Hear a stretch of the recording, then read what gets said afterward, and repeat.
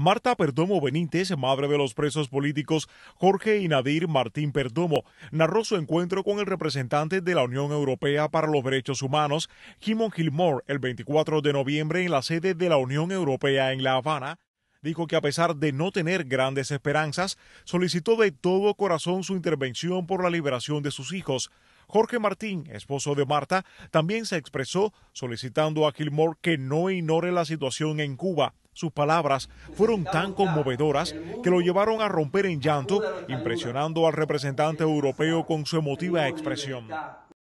Durante la reunión se compartió el sufrimiento vivido en los dos años y medio, resaltando las dificultades y las difíciles condiciones de los presos políticos cubanos, incluyendo torturas y juicios amañados.